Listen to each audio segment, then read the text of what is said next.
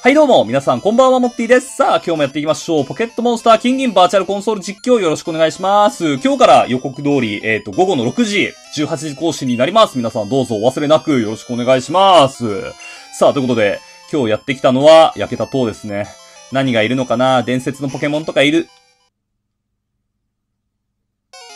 ドゥッツトゥーントゥンドゥルットゥーンなんだお前か。ちょっとは強くなりたくて、ここに眠ると言われている伝説のポケモンを探しに来た。そんな感じだな。だが、それは無理さ。伝説のポケモンは俺が捕まえる。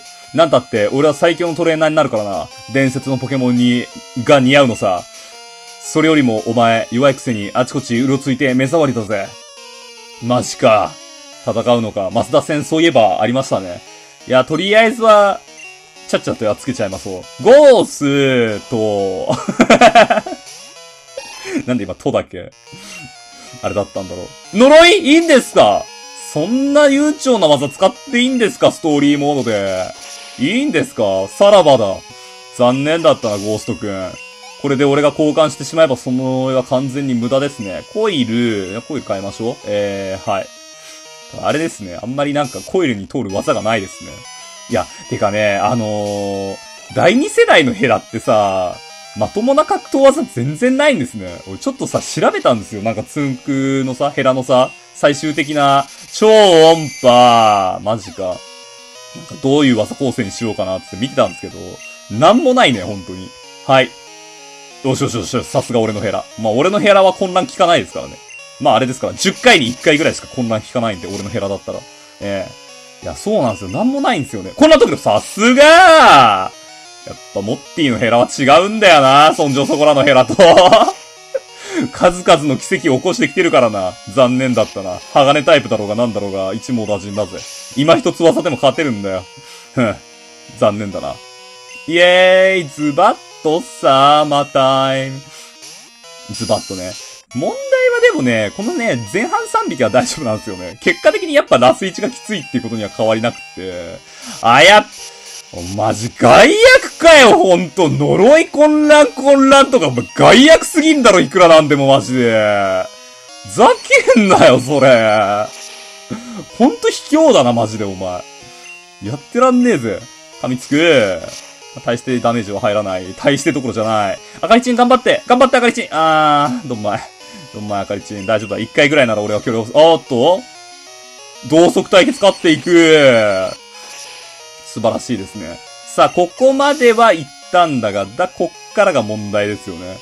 いや、これをどうすっかだよないや、多分ね、つんくで切り抜けるのが一番いいんですけど、果たしてですよね。で、虫技も虫技で大した虫技覚えないですよね。メガホーンまでね。メガホーンまで行っちゃえば、まあメガホーンでいいかなって感じするけど、それまでの虫技最高が、うーリフレクターですからね。それが辛いですよね。リフレクターじゃなくて、あのー、連続切り？だ連続切りを覚えさせるのはありかなって少し思ってるんですけど、どう思います？連続切り覚えさせた方が良かったですかね？えっ、ー、と、急所当たっても多分大丈夫なので、このままちょっとご利用しますか？葉っぱカッター。葉っぱカッターは、特殊。うーん、急所に当たる。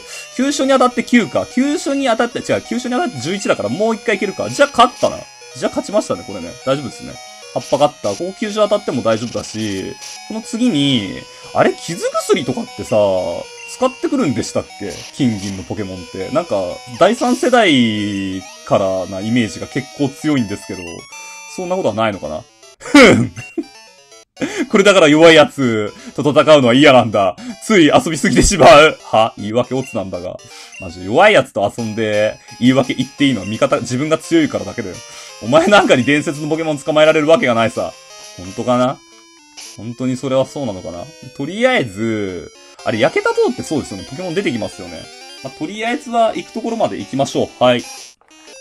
あ、そっか、岩砕きがないと、いけないんでしたっけ？まだ。そういえば。あー、なんか、狛犬みたいのがいるな誰なんだろうなあの犬みたいなの。どこのライコどこのエンテどこのスイ君なんだろうなみたいな。使わないだろうけど、使わないだろうけど、余しとくのも意味ないしな。別に、お金にしてもなって感じだしな。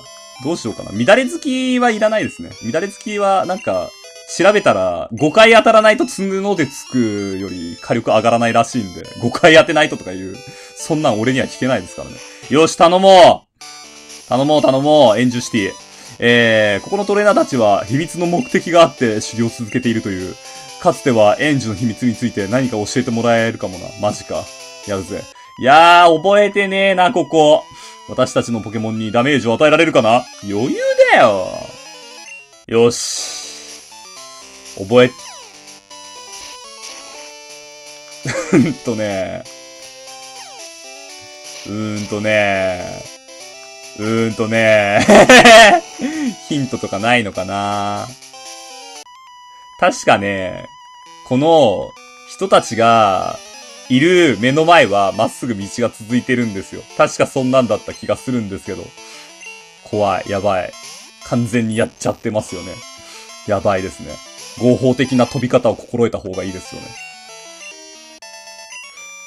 合法的な飛び方を心得よ。こうして、こうでしょう。でね、問題はこっから先なんだよな。こっから、右行って、ちょっと左行って上ですよね。うんしゅこう。こう。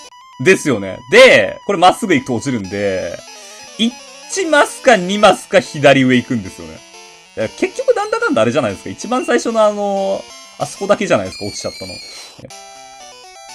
はい。で、こうして、おー よかった。よし。で、とりあえず、ま、回復もしたので、じゃあ行きますか。よく来たね。エンジュでは昔からポケモンを神様として祀っていた。そして真の実力を持つトレーナーの前に伝説のポケモンは舞い降りる。そう伝えられている。僕はその言い伝えを信じ、生まれた時からずっとここで秘密の修行をしている。そのおかげで他の人には見えないものをも見れるようになった。怖い、怖いよ、やばいよ。もう少し、もう少しで伝説のポケモンに会える。そんな未来が見えそうなんだ。その修行、あそのための修行、君にも協力してもらうよ。未来予想松葉が待ってましたね。ようやく松葉に会えましたね。内戦お願いします。いや、松葉はね、ぶっちゃけ言って、ちょっと買い忘れちゃったんですけど、スピーダーで上から噛みつきまくってれば大体勝てるんですよね。大体。いける？オッケーオッケーオッケー。問題は、ゴースは大丈夫なんですよ。問題は残り2つなんですよね。はい。ゴースト。問題はゴーストと、その後ろに待っている黒い影。あ、ここ抜ける素早さ、いいね、いいね、いいね、いいね。昼目昼目昼目昼目昼目昼目昼目昼目よっしゃーで、昼んだら、まあ、波乗りでいいのかなっていう。ちなみにこれどっちの方が入る？波乗りと、波乗りの噛みつくだったら噛みつくの方が入りますよね。多分。抜群2倍。あー、でもキワいなトントンぐらいか、ほぼほぼ。さあ来ましたね。問題はこいつなんですよ。こいつさえどうにかなれば、すんげえヤンキーみたいな顔してますよね。なんか、やめろー なんか GTO とかに出てきそうな感じ。もう、鬼塚といい感じにため張れそうですよね。こういうのは、もう僕は眠気覚ましが買ってきたんでね。どうせ催眠打ってくるんだろうなっていうのは分かってたんで、はい。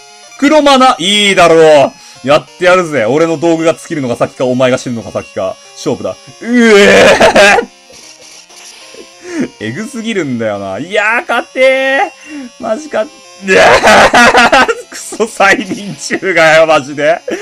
あー、マジでクソ催眠中がよ。くそ、マジで。あー、マジで。あー、むー、あー、マジで。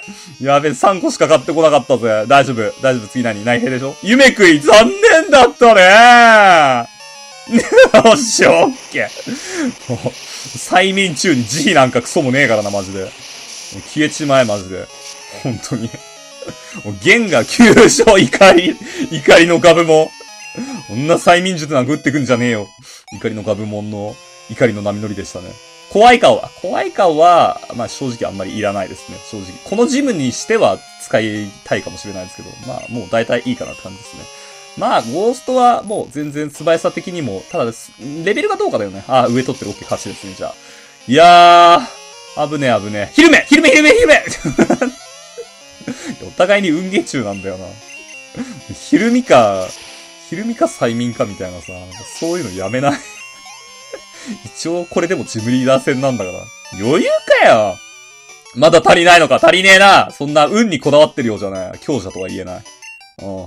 強者は運に頼らねえ。よし、ファントムバッジ、ゲットだぜピピカチュウ !50 レベルまでのポケモンならどんなポケモンでも君に従う。あと、波乗りがこれで使えるようになったんで、あの、あっちへ行けますね。さあ、そして、技マシン30は、えー、何でしたっけ？シャドボあシャドボって第二世代技でしたっけ？そういえば。えー、攻撃するだけでなく稀に特防も下げるよ。気に入ったら使っていいよ。ただね、あれなんですよね。あんまりシャドーボールを今回有用に使えるポケモン入れる予定がないんで、これもしかしたら売るかもしれないなって少し思ってるんですけど、まあいいや、それはともかくとして、これでじゃあとりあえず、えっ、ー、と、演樹でやれることはやったかな。ちょっともしかしたら、まあ、道具の取り忘れとか、もろもろあるかもしれないですけど、まあなんか、なんでしょう。まあそれは後でもいいかな、みたいな感じで。よしじゃあ、向かうは西ですね。西に行きましょう。君ってさ、ポケモン強いの？この子確かね、モーニング娘。のメンバーの名前の子なんですよ。リサじゃなかったっけ？違ったっけ？リカだった。惜しい惜しい惜しい覚えてんだよな。セーフ、セーフ。そう。で、なんで覚えてるかっていうと、あの、電話番号がね、交換できるんですよ。そうなんですよ。だから、あの、交換するんですね。はい。はい。なんかあったら電話してくる。なんかね、リカちゃんめっちゃね、電話かけてくるイメージなんだけど。なんかそんなんありますよね。さあ、来ましたね。モーモ牧場。うまい絞りたてミルクをどうぞ。やったー。あ、この子たちは確かあれですよね。もうもう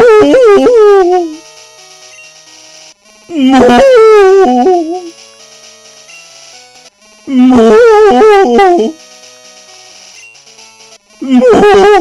もう行こう。えーと、あ、左の建物何でしたっけ？左の建物が、あれでここですよね。ミルク。でもミルタンクは美味しいミルク出し、出してくれんと、俺たちも困るんだ。なんか、あれですか。オラのミルタンク、ミルク出さなくなってんだ。オランチのミルタンクは有名だ。みんな飲みてって言ってるのに、木の実をいっぱい食べさせば元気になって美味しいミルクをたくさん出してくれんだけどもな。どうしたんだ？何があったんだ？なぜミルタンクがミルクを出さなくなってしまったんだ？大丈夫か？もうもう元気がないの。たくさん木の実あげないと。もうもう、木の実あげないと。もう、鳴き声に元気がない。木の実あげますか？しゃあねえな。いいよ、これ食え。おまだか？まだ元気ないのか？まだ元気になんないのか？うん、食え食え。ほら。まだダメか？何個食わせればいいんだっけ、何個食わせればいいんだっけ？めっちゃ木の実。あ、ちょっぴり元気、ちょっぴり元気出たって。ちょっぴり、ちょっぴり元気出たって。めっちゃ木の実開けてるけど。あ、持ってない。あ。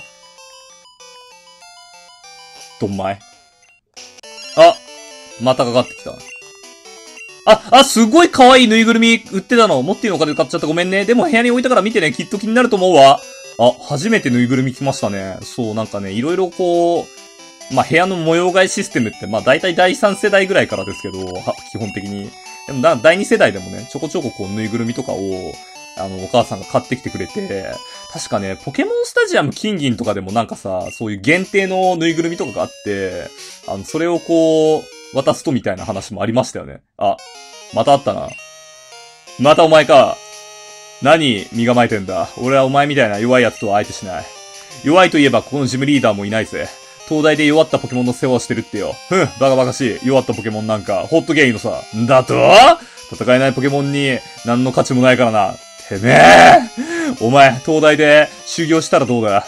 ちょっとは強くなれるかもしれないぜ。てめえ、なんてこと言いやがるんだ。ちょ、じゃあ、お邪魔しまーす。いません。さよなら、お邪魔しました。実際に戦うのは一番、まあ、後半ですけどね。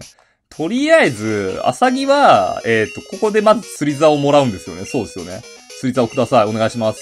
これいい釣りだっけ？いい釣りですね。まあ、あの、釣りで何かゲットするつもりは今のところないんですけど、まあ、とりあえずもらっとこうかなみたいな。はい。で、えー、とりあえずは東大に行けばいいかな。朝木ってなんかあんまりイベントらしいイベントってまだこのタイミングはなかったような気がするんですけど、あれここトレーナーいたっけ？なんかいたと言われればいたような気もしなくもない。まあでも別に体力もそんな減ってないし、まあ行っていいのかなって感じもしますけどね。まあとりあえず、屋上目指して進んでいきましょう。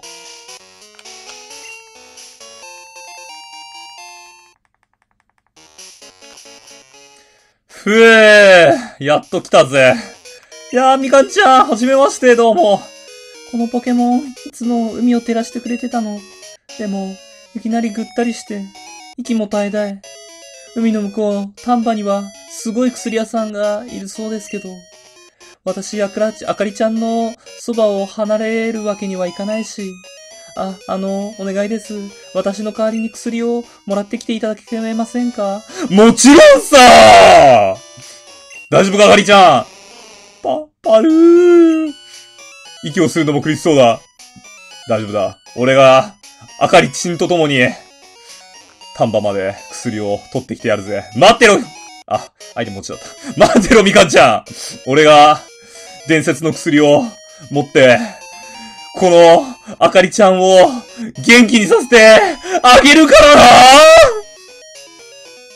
はい。じゃあ、今日はこの辺でおしまいです。はい。ということで、次回のパートでお会いしましょう。モッティでした。さようなら。動画最後までご視聴いただきましてありがとうございました。ぜひチャンネル登録と高評価ボタンよろしくお願いいたします。ポケモン GO にハマりすぎて毎日4、5キロぐらい歩いてるんですけど、なんかウォーキングに便利なグッズとかあります？なんかそろそろ本格的にそういう靴とか買った方がいいんじゃねえかなって内心思っちゃってるんですけど。ではまた明日、あったかくして寝ろよ。